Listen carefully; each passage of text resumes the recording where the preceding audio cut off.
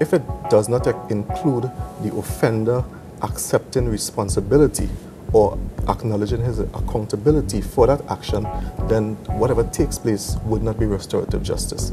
Likewise, if the victim is not um, on board, does not want to be part of the, of, the, of the process, then that would not be restorative justice.